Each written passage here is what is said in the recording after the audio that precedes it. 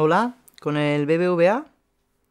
Mire, llamaba para informarme a ver cómo va el tema de, del alquiler social que solicité. Que después de ir a servicios sociales donde me dijeron que, que no tienen pisos de alquiler social para ayudarme, pues bueno, tuve que meterme en un piso embargado vuestro de- del banco, ¿vale?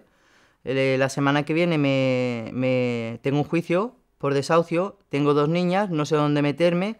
Cuando vosotros tenéis un montón de pisos embargados, ¿vale? Y vacíos, lo que es ilegal de aquí en Cataluña, que tengáis tantos pisos vacíos.